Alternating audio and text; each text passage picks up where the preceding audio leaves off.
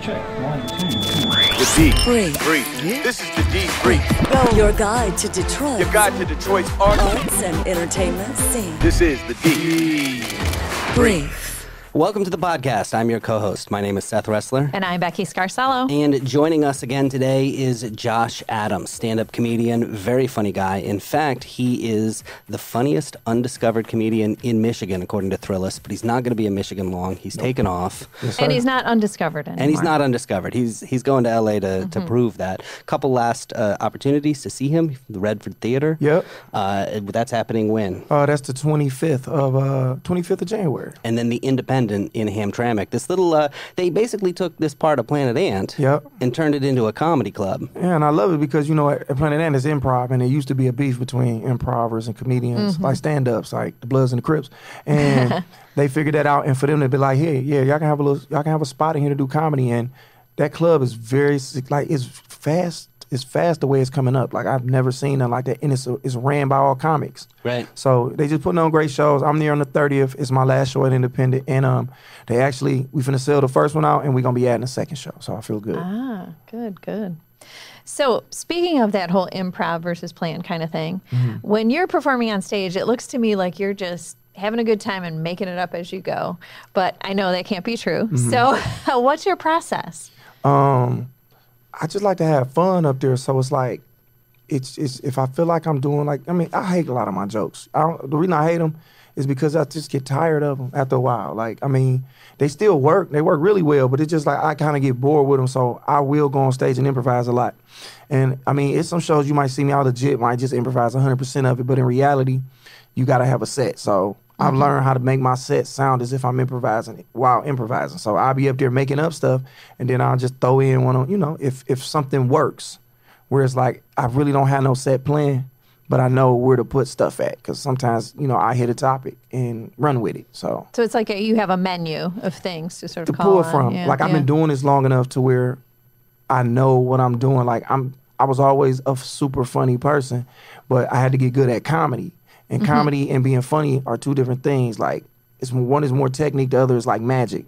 But once you bring them together, it's just like something you ain't never seen before. So I'm just trying to get better at it. So when we go into an interview, we'll have a list of questions often. Right. And we know it's a good interview if we don't get through the whole list because it means that we're having conversation back and forth and we're kind of riffing and improvising and going with where it goes. Is that how it is when you do stand up comedy? Like, That's a that's a great way to put it, Seth. Because I I want audiences to feel like this show was for us. Like we you can't see this again. Like mm-hmm. like, and I make a point to say like y'all didn't think y'all was gonna hear this when y'all came in here. Like I might have whatever that specific thing is, and it's just funny because it's nothing funnier than something that happened in the moment that we all like. Wow, this just happened. This is crazy.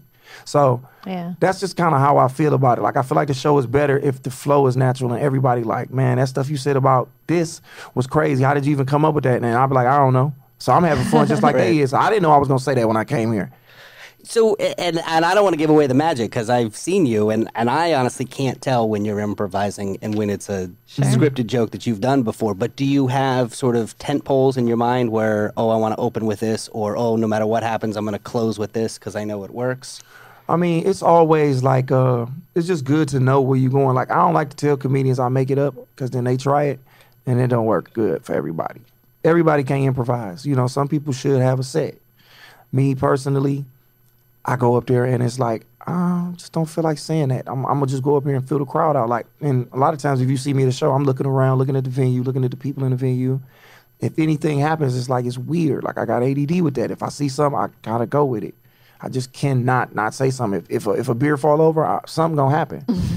I remember this show, I think it was in Saginaw now that I think about it, where I saw you mm-hmm. for the first time. I remember watching you, and there was like a hole in the ground or something, and you just went off on it eh, and, and about how tiny the place was. And next thing I know, you're sitting there singing the Super Mario theme song. And I, I just remember thinking, oh my God, like I don't even know. I didn't know that I was gonna do that. See what I'm saying, Seth? So it's like when I just think about it, man, I just walk into a place and I kind of just let whatever happen happen, and I think that's just the best shows. Like I feel like people have more fun with them, and I, I'm mm-hmm. trying to figure out how to incorporate that. That's what the albums is about. Me improvising a lot and working on my storytelling because I feel like my special's only gonna be good if I can be me. So I don't want to go up there and I got this monologue to say. Right. I kind of like, hey, Right. we gonna wing it, but I'm gonna get good at it. So good at it that it'll be able to translate to the third person. Like, cause a lot of times people I can lead a show and be like, he said this, and they be like, well, I don't understand because they wasn't there. You know what I'm saying? But I wanted to be able to translate to a person that's not at the venue and they watching it from home. Right. So when you talk about your album, did you have everything scripted out before you recorded it, or did that involve some improv too? No, it's it's basically like what you said. I, I had some stuff like my album was basically like jokes that I didn't finish, and I was like, I'm gonna go up here and see if I can write on stage because that's what I do with a lot of my yeah, comedy. So it's like I'm like, oh, okay, I want to talk about uh, you know, uh, sparkling water. So I go on stage and I have a reason to talk about sparkling water, and then something might happen. Somebody might yell something in the crowd and throw something in there because, and then it'll, it'll go somewhere, and I can take it somewhere. Like I mm-hmm. can always figure out how to land it. You know, I can figure out how to land the plane. Period. Every time. So my album, I went there with like some unfinished toys that I had, like little pieces and stuff like that, and I went up there and I made it work. And I think it was good, and I'm only gonna keep getting better at that, working on that muscle. yeah, I think so. When you're an improviser, do you look at other comedians who are really good at improvisation for, you know, like a Robin Williams or something like that for mm-hmm. inspiration and to watch what they do, or do you not? You just you improvise. I just go up there and improvise. Cause I've been doing it since I was a kid. Like being funny. Like nobody grew up telling joke jokes. Like not nobody I know. We just grew up being funny, and our Right. funny was mm-hmm. always in the moment on the fly. So that was just a muscle that I didn't even realize that I was working on.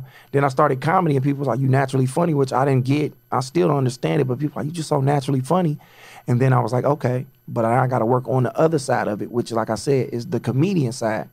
Really being a good comedian and breaking jokes down and being able to be like, all right, I need to write a joke about sparkling water, and I got to figure out where the funny is, and is uh, where it, it where's the funny located at in this thing that I'm thinking about. So how do you do that? It's so it's it's just like it's just like I don't know. like I really wish. It's mag- That's the magic Well, part. well, how Yeah. do you do? I mean, do you write? Do you set aside time to write? I'm Are forcing myself to now. You are, and how's that going? It's, it's going good. Like it's like okay, I got to understand that I have to sit down and write these jokes out.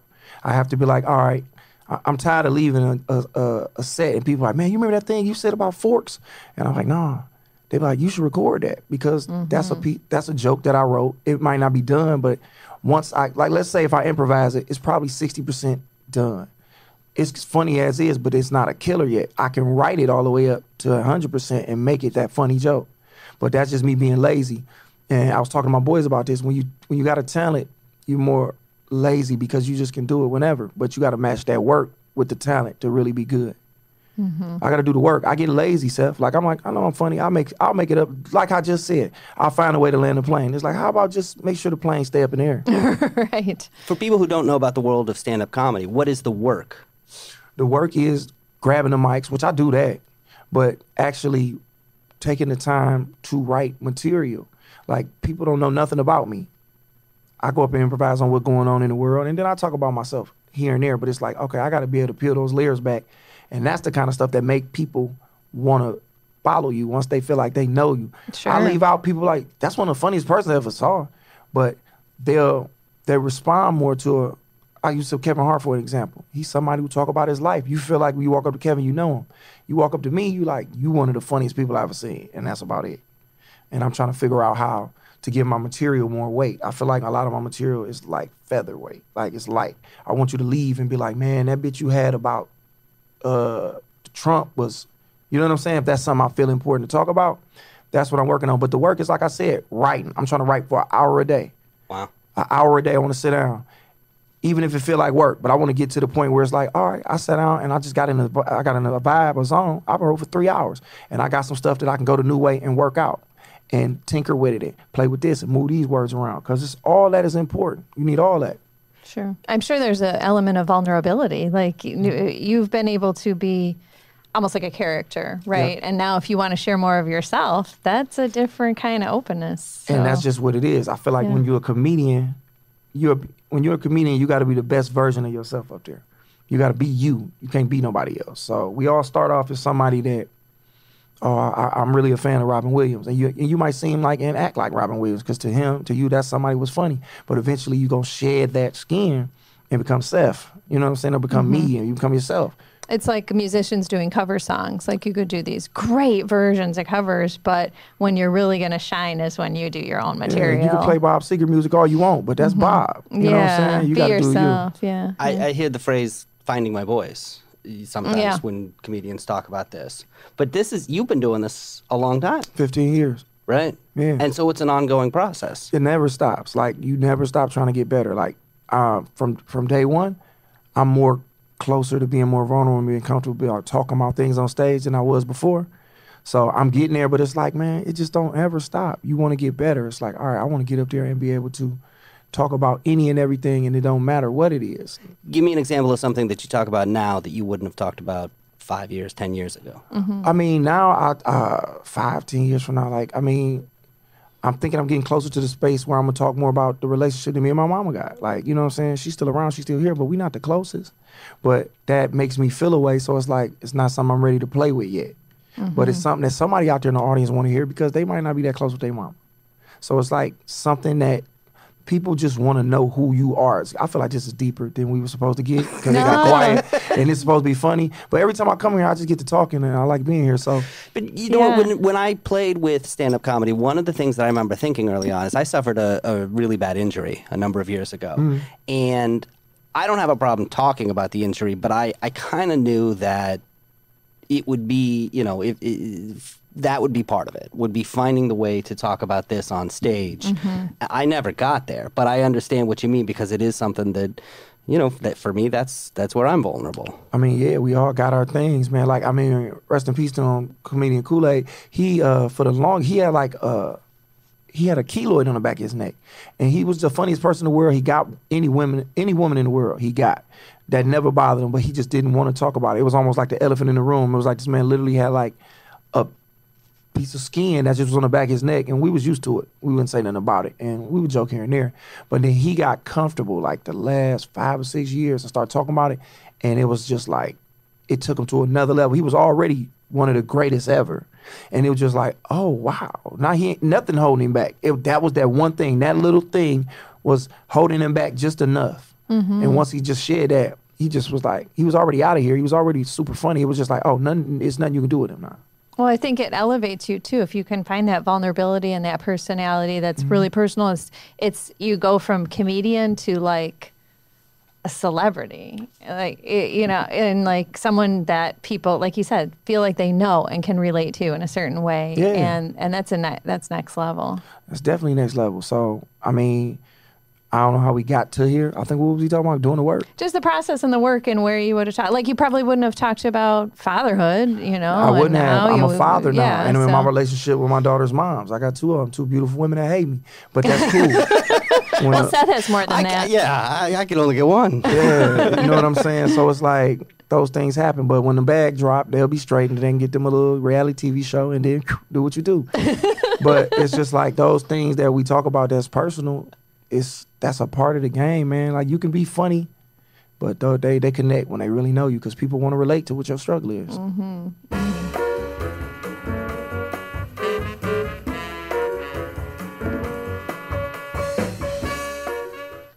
All right, guys, let's uh, talk about what's going on this weekend. Make some recommendations. Becky, let's start with you. Sure. So if you love hockey, you like the Red Wings, but maybe you don't want to commit to a game, the time, the money at LCA, you can still go see some Red Wing alumni players. So there's this thing this weekend called the Frozen Fish Fiasco. What? Yeah. It takes place in Clark Park, which is actually the only maintained outdoor ice rink in the city of Okay. Detroit. So, of course, that needs money to maintain. So, this is a fundraiser for that. So, it's a full two days of games. A lot of youth players, and then uh, you know the creme de la creme is the is the Red Wing alumni players going out there. They play each day. Uh, like one day they verse a team that's made up of UAW uh, employees. So, what if Darren McCarty just straight up like knock down a kid? Like you know what I'm saying? He just have a flashback. You might see that. Yeah, Darren McCarty's one of the one of the guys who's been involved for a long He do time. comedy. So Does he? yeah, he do comedy, he do shows. yeah, he does. He does.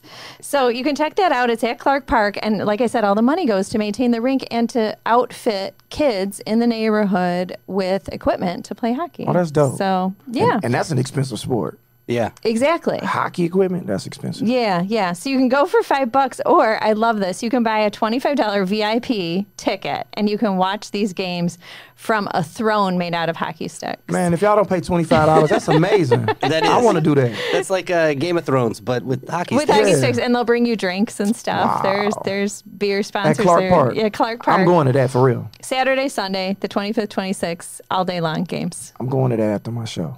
Let's talk about your last show here in town. It's going to be over uh, in Hamtramck at the Independent, the comedy Yeah, club. Inside of Planet Ant, it's um, it's my it's my last show at the Independent. Um, Oh, oh, are there more in the area? When are you actually leaving? I'm When do you- leaving February 28th. Oh, so we got some time. Yeah, yeah, I got Come some time. on, But I mean, if you want to see me at the Independent, which is one of the newest upstart comedy clubs in the in the city, you should definitely go there. Um, Eight o'clock show. It's about to sell out. We about to add a second one. It's me. Um, EJ Watson is hosting, and I ain't figured out yet who I want to open up for me. But it's just gonna be it's gonna be the creme de la creme. I'm gonna have some of the funniest comedians coming up doing their thing before me, and then I'm gonna close it out and talk. I don't know what I'm gonna say yet. So come, we just told y'all we improvise. So I don't even know what I'm gonna say yet. It's going to be magic. We talked a little bit about that club, but tell us more about the story behind it. Uh, it's a it's a comedy club that they opened up inside of an improv. So it's almost like Inception. It's crazy when you think about it. But it's a little it's a little it's like fif- 50 60 people. It's very intimate and it's all run by comedians. Bart Dangus, Connor, uh, Joh- uh Johanna does a show over there. Uh, Brett Mercer. It's just some of the best underground comedians that people don't know about yet.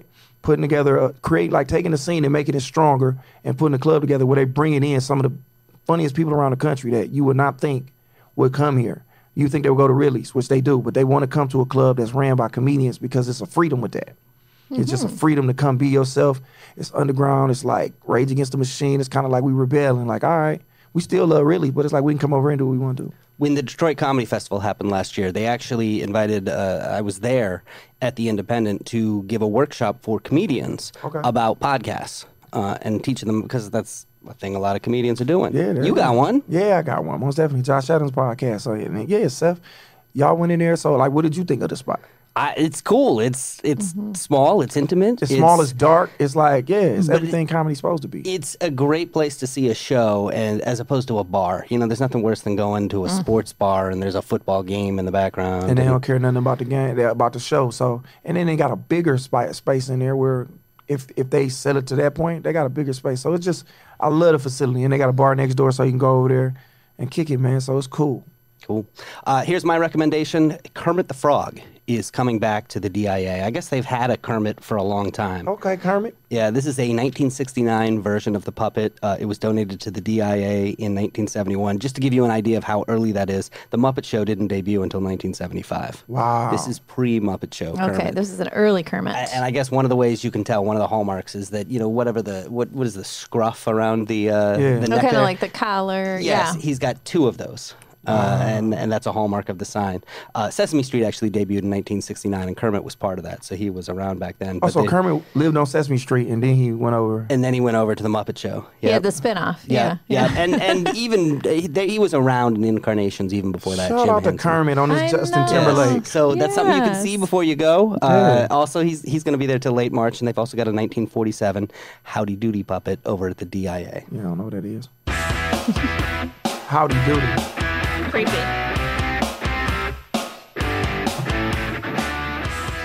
Josh Adams has got a couple of shows left, and you can always go get the album, The Miseducation of Joshua Adams. People can find that anywhere. And Please grab it, man. Yeah, all, all streaming sites and all anywhere they selling stuff. Anywhere you can buy music or download stuff, you can get it there. Cool. Uh, one thing that we're doing at the end of every show now is that we are inviting local artists, local musicians to submit songs because we're going to close out every episode of the podcast with a song from a local band. Uh, comedians can do this as well. So if comedians like yourself have recorded an album here locally, they can submit a track and we can play it here on included in the podcast. Yeah, all you do is go to the debriefdetroit.com and there's an easy breezy way to do so. So I have a song for you guys today. It's called Underdog. The artist is named Mayaeni Lee.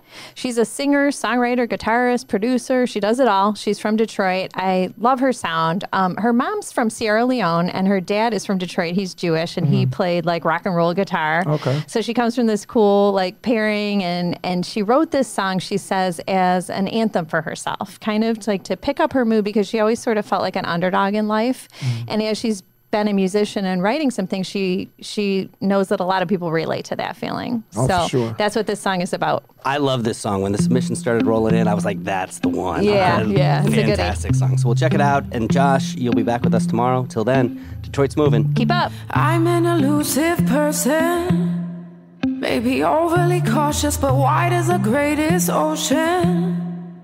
And yeah, it can cost you to be silent when they have spoken. To be out of the circle, but part of the circus performing. Maybe I was so foolish to think that what's in my head is how you all feel about me. And how can I change what you feel when you already think? You know my whole story and tell it so confidently. Now, how can that be? I am just under, under the mark, right where the stars fall from their brightest, right under, under the trees, but high as the top, shining so it makes you wonder if what's in the dark will come to the light just when you think that they are under. Just wait for me, wait for me. Just wait for me.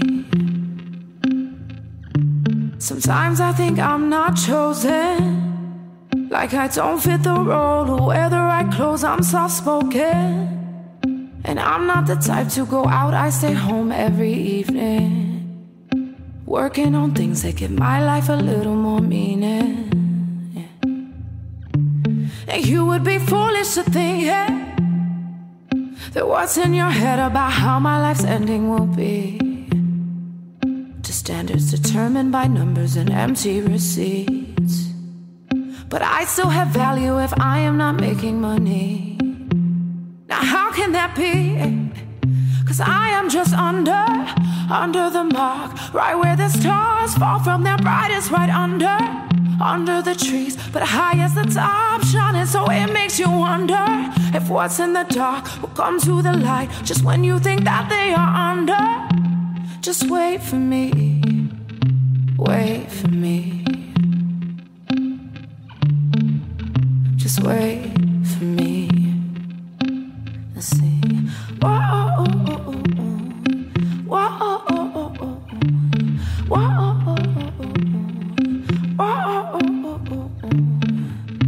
I am under, under the mark, right where the stars fall from their brightest, right under, under the trees, but high as the top, shining so it makes you wonder what's in the dark will come to the light just when you think that they are under.